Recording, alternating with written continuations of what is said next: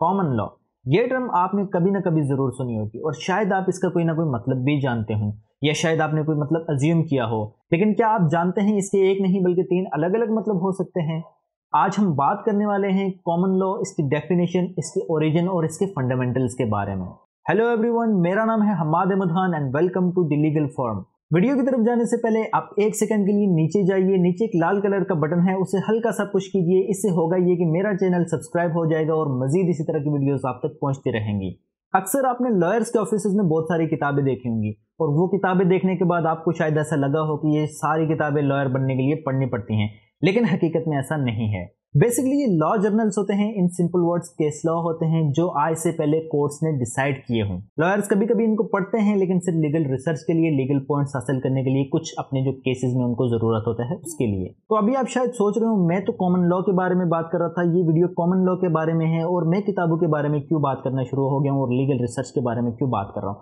तो बेसिकली देखिए, यही कॉमन लॉ है। जो हमारे पास फ़र्स्ट डेफिनेशन है कॉमन लॉ की, वो है जज मेड लॉ अब देखिए जजेस का काम लॉ बनाना नहीं है, लेकिन वो सिर्फ़ और सिर्फ़ प्रीवियस जो लॉ होता है एग्जिस्टिंग लॉ उसे यूज़ करके, उसे नए तरीके से इंटरप्रेट करके ग्रे एरिया में एक नया प्रिंसिपल लेके आ जाते हैं, जिसे हम कहते हैं common law common law basically extract करना पड़ता है प्रीवियस केस लॉ से कि प्रीवियसली इस सर्कमस्टांसिस में कोर्ट ने, इस सिचुएशन में क्या डिसाइड किया था। अब इसकी स्टेचुटरी लॉ की तरह कोई भी प्रोविजंस नहीं होती या कोई ऐसी बुक नहीं होती कि जिसमें इसकी प्रोविजंस दी हुई, जिसमें ये लिखा हुआ हो। ये बेसिकली जजमेंट्स का हिस्सा होता है और जजमेंट पढ़ के ही हमें कॉमन लॉ का पता चलता है कि लॉ क्या है। जजमेंट के ऐसे पॉइंट्स ऐसे प्रिंसिपल जो न्यू हो और न्यूली डिसाइड किए गए हों, जो कोर्ट के सामने एक न्यू क्वेश्चन आया हो और उसे कोर्ट ने एड्रेस किया हो।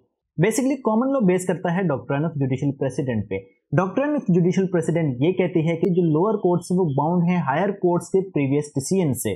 यानी अगर किसी स्पेसिफिक सर्कमस्टांसिस में हायर कोर्ट ने कोई डिसीज़न लिया है, कोई फैसला दिया है तो लोअर कोर्ट बाउंड है वही फैसला देने का जो हायर कोर्ट ने दिया है सिमिलर सर्कमस्टांसिस में। जुडिशियल प्रेसिडेंट क्योंकि एक अलग से पूरा टॉपिक है, इस एक वीडियो में मैं इसको कवर नहीं कर सकता, इसलिए मैं इसके लिए अलग से वीडियोस भी लेकर आऊँगा। उनमें हम बात करेंगे इसकी पूरी डिटेल की और इसकी डेप्थ में हम जाएँगे। लेकिन फ़िलहाल कॉमन लॉ के मीनिंग को समझने के लिए इतना काफ़ी है। अब हमारे पास टर्म कॉमन लॉ जो दूसरी जगह पे इस्तेमाल होती है, वो बेसिकली होती है कॉमन लॉ जो रिस्ट्रिक्शन के लिए, यानी लॉ ऑफ़ यूके देखिए यूके का जो लॉ है, वो बेसिकली बेस करता है कॉमन लॉ पे। मोस्टली जो लॉज हैं, वो ड्राइव हैं कॉमन लॉ से, और कॉमन लॉ वहाँ के लॉ का एक अहम सोर्स है। क्योंकि कॉमन लॉ का ओरिजिन भी यूके ही है, इसलिए हम यूके के लॉ को कॉमन लॉ या कॉमन लॉ जो रिस्ट्रिक्शन भी कहते हैं। और थर्डली जो हमारे पास टर्म कॉमन लॉ यूज़ होती है, वो होती है बेसिकली लॉ ऑफ़ कॉमनवेल्थ के लिए।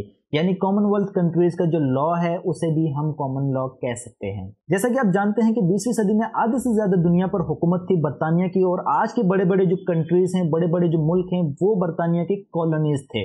और इन सारे मुल्कों का जो लॉ है इनिशियली वो ब्रिटिश की तरफ़ से ही डेवलप किया गया था। या कोई ना कोई रोल ब्रिटिश का रहा है उस लॉ के डेवलपमेंट में। तो अगर आज के स्टेटस की बात की जाए तो आज भी बहुत सारे बड़े बड़े मुल्क, जैसे कि न्यूजीलैंड कनाडा पाकिस्तान इंडिया अभी भी ब्रिटिश लीगल सिस्टम के मॉडल को ही फॉलो करते हैं। तो इन कंट्रीज़ के लॉ के एक सब्सटेंशियल हिस्से को भी हम कॉमन लॉ कह सकते हैं। तो ये थी हमारे पास बेसिकली तीन डेफिनेशन तो आइए एक बार जल्दी से इन तीनों डेफिनेशन को दोबारा से रिवाइज कर लेते हैं।